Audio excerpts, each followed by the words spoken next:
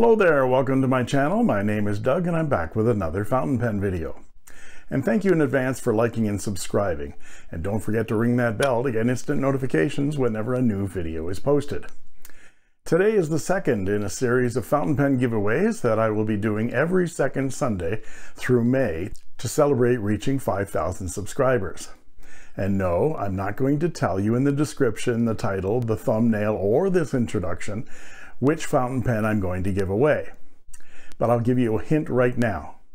I recently called it the best fountain pen in the world. And it's one of these.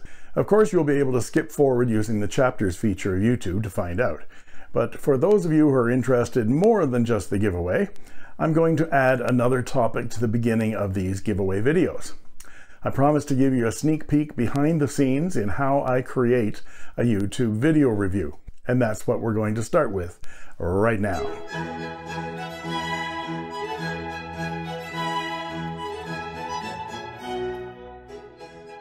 For those of you who are interested, this is how I make my YouTube review videos.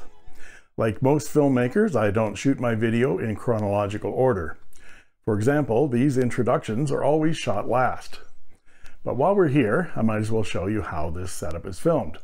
You guys can see my guitars lined up here, and I have a workspace for working on my guitars or other projects, and of course my computer desk. These introduction shots are just me standing in front of my shelf unit, where I keep many of my pens and inks. I use my LED ceiling lights draped with drafting vellum as diffusion for my front lights, and an LED clamp light as rim light. Unfortunately, the front-facing camera on my iPhone 7 Plus hasn't got the quality to do face-on camera videos. But I solved that issue by placing my Nikon D7100 DSLR on a tripod with an iPhone mount so I can use my iPhone as a teleprompter. welcome to my channel. My name is Doug and I'm back with another fountain pen review. I connect my lavalier microphone to the iPhone, so when I get to editing, I can use the audio from the iPhone synced with the video from the Nikon. The beginning of the filming sequence is usually with the unboxing video. When I get a pen in the mail, I'll set up my iPhone on my iRig iClip tripod on my desk, plug in my lavalier microphone, and film the unboxing with my iPhone app, Filmic Pro. It gives me great control over the white balance, audio levels, focus, and exposure. Plus, it uses the two lenses on the back of my iPhone 7 Plus to give me a smooth, continuous zoom. After the unboxing, I'll write with the pen for a few days to a couple of weeks, and then begin writing the script for the review. I use a template I created so I don't forget to mention the most important information. Once I've created the script, I'll put the document on my iPad, second generation, which is in a desk-mounted stand so I can use it to read the script while I'm filming. I'll often ad-lib through this and add things as I go, but the script keeps me on point. The size comparison videos and the writing sample videos are done with the iPhone 7 Plus on the iRig iClip tripod with the extension and the camera reversed and overhead. This of course requires rotating the video in editing. Once I'm finished filming the scripted review with my iPhone 7 Plus, I'll take photos of the pen sitting on top of my desk to be used as thumbnails and as a background for the measurements. And no, I didn't plagiarize David Parker's thumbnail photos. I copied his whole format and then adjusted it to make it my own, as he himself suggested. Thank you to the viewer for suggesting my channel is just a copycat. Here's a cutaway just for you. I think the problem with people like this is that they are so stupid that they have no idea how stupid they are. You see, if you're very, very stupid, how can you possibly realize that you're very, very stupid? You'd have to be relatively intelligent to realize how stupid you are. There's a, a wonderful bit of research by a guy called David Dunning at Cornell, who's a friend of mine, I'm proud to say, who's pointed out that in order to know how good you are at something requires exactly the same skills as it does to be good at that thing in the first place, which means, this is terribly funny, that if you're absolutely no good at something at all, then you lack exactly the skills that you need to know that you're absolutely no good at it. And this explains not just Hollywood, but almost the entirety of Fox News.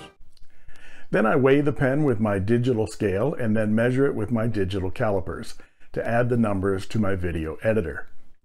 I edit the images using Photoshop, where I'll crop and enhance the image, add borders and titles, and save two images, one with a title and one blank. Then I transfer all my videos from the Nikon and the iPhone to my desktop computer. I have a home-built computer with tons of RAM and a very fast solid-state hard drive, a top-notch video card, and a 34-inch curved widescreen monitor. My video editing software is DaVinci Resolve 16. The program is fast, feature-rich, easy to use, and free. I open a template video project where I've saved my audio settings as well as video and audio tracks that I use in every video, like my Vivaldi Four Seasons music and the intro and extra videos. I drag my new video files and image files for the review into the master bin of the editor and save it as a new project. Then it's just a question of adding the files to the tracks in sequence and making cuts and transitions. I will do one editing session where I'll do the first pass getting the sequences in order and cutting all of my mistakes and pauses, which there are many. Then I will watch through my video again, and as cutaways come to my mind, I'll either pull the video files from my archives of cutaways I've done before, or search for something on YouTube, my DVD collection, Netflix, or Prime. If something strikes me funny and it brings a commercial, a TV show, or a film to mind, I'll do the search for the appropriate clip and capture it and cut it into the video. Sometimes I'm unsuccessful in finding the one I want. When I'm finished with the second edit, I'll compile a video which exports to a file I can upload to YouTube. The compilation for a 25 minute video can take up to an hour. Getting YouTube to accept the file can take from a few minutes to a few hours if YouTube rejects five or six seconds of a cutaway or a musical introduction. And if YouTube rejects it, I'll have to re-edit the video, recompile, and then upload it again and try again. The filming and the first edit can take around 8 hours for a 25 minute video. The second pass and the subsequent compiling of the video, uploading to YouTube and adding all of the description, the chapter timestamps, and all of the other buttons and checkboxes YouTube requires can take another 8 hours. So there you have it. That's how I put a video review together. Yes, it is much easier just to turn on the camera, show a pen, talk about it ad lib for a few minutes, then scribble for a couple of minutes on some paper. But when I started, I had one thought. How do I keep my audience from falling asleep during a long, boring video about something as mundane as a fountain pen review? It's your job to watch for any toys that could be hazardous to children. Now look sharp! Uh, yes, sir.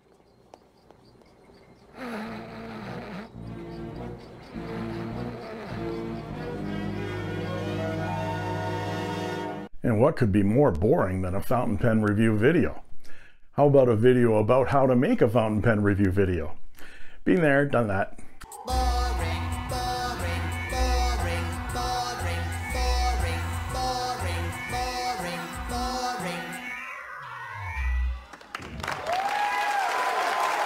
Now we take you back to your regularly scheduled fountain pen video already in progress. We return you now to your regularly scheduled program. Welcome back to those of you who watched my How It's Made video. And for those of you who skipped right to the pen giveaway, here's the skill testing question. What software do I use to edit my videos? Fooled you. The fountain pen giveaway contest rules are simple. Just be a subscriber to my channel and leave a comment below. You have 72 hours from when the video is posted to add your comment before I'll randomly select a winner and make an announcement in a pinned comment and on my community page. If a winner doesn't contact me by writing with their name and address within 72 hours of the announcement, I will select another winner. My email address is listed in the description. Of course, I reserve the right to refuse to ship to locations in the world unreachable or cost prohibitive by Canada Post. There's no point in spending hundreds of dollars to give away a $30 pen. And now, finally, to the topic at hand. Which pen am I giving away? Well, I did call the Pen BBS 308 the best fountain pen in the world, and for good reason. In my opinion, it is the best fountain pen for the buck on the market. Watch my best fountain pen in the world video to see my arguments. And feel free to give me a thumbs down. I have six of these Pen BBS 308s, and which one of these will I give away? Well, we can eliminate this white one first. Isn't it a gorgeous pen? Because this doesn't actually belong to me. This belongs to my wife, Win. So we can get rid of that one. And we can eliminate this cedar one because this has special significance to me. It's my first Pen BBS pen and my first Pen BBS 308, of course. Beautiful cedar resin. And also this one has a cracked section on it. And we can eliminate the amber is a cat because this was my first amber is a cat and you'll not take this out of my cold, dead hands. Uh, excuse me, is, is this his cold, dead hand? Uh, yes? He, uh, he said I could take this. And the Galaxy with gold trim. I cannot give this away because this was my first Galaxy, and the finish has since become my favorite. Ooh, the tension mounts were down to the Galaxy and the Infinite. Well, the Galaxy with the silver trim, because I have one with the gold trim, was a gift to me. So, and I don't give away gifts. People are so generous that they give me things there's no way on earth I'm going to give it away. So we're end up with the Galaxy 308 in Infinite. This is a gorgeous fountain pen. Let's look at it briefly. It is in this beautiful transparent blue, much like the blue of the Wing Sung 699 and the Platinum 3776 Century in Chartres blue.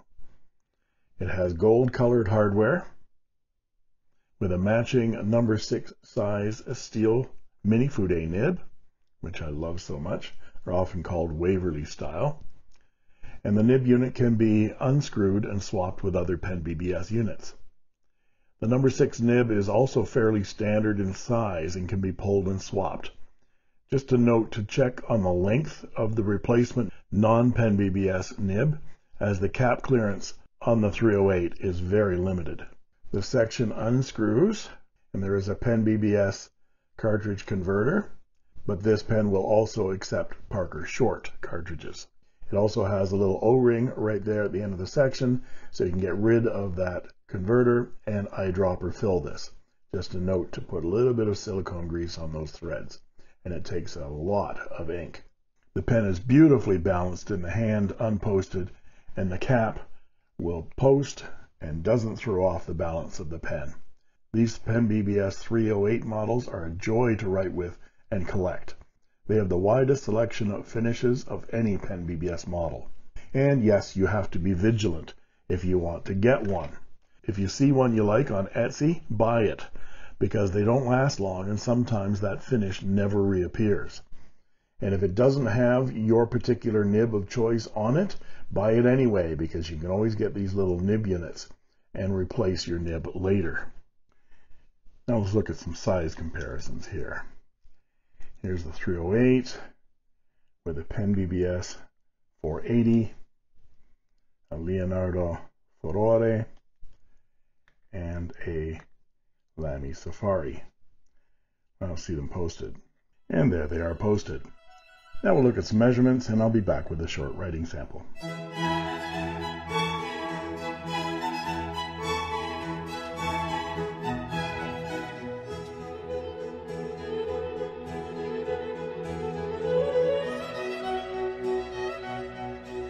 here we are with the Pen BBS 308 Infinite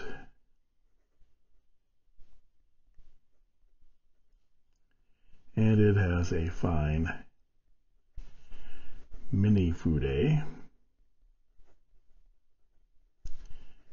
steel nib. And this ink, I've cleaned this pen out, so I've just dipped the nib on this, and it is Iroshizuku Ama-iro. And the pen is nicely wet. And here are some close matches to this ink from inkswatch.com. This pen is extremely smooth. This is one of the finest Pen BBS nibs I've got. And it has just a slight amount of feedback on the page, but it's just like glass. It is very stiff as it is a steel nib, um, but very, very smooth. And this line is a 0.5 millimeter Western fine Japanese Japanese fine to medium. But I tuned this nib myself it didn't require much tuning. I will link the description. Um, I will link in the description the video review I did of this pen. Uh, but it is just a glorious, glorious pen. And yes, I have six of them in the house, and so I don't mind losing one, but this is a beauty. And this pen um, isn't that expensive either. I bought it for $15.99 US uh, with, uh, I think, 6 or $8 worth of shipping. So to win this pen, simply be a subscriber and leave a comment below. I'll give you a topic to discuss, although any comment is a contest entry. So the question is, what is your favorite turned acrylic.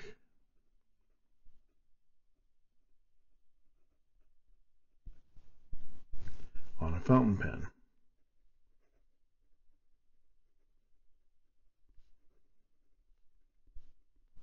So perhaps you don't like turned acrylic, then what is your favorite finish material? Wood, metal, precious resin, what? Get those comments posted and make sure you check to see if you are the winner 72 hours from when the video is posted, when I'll make the announcement in a pinned comment and on my communities tab. Good luck to you all. And if you like this video, please like and subscribe and don't forget to ring that bell to get instant notifications whenever a new video is posted. And that just leaves it for me to say thank you for watching. And that's all she wrote. I made this.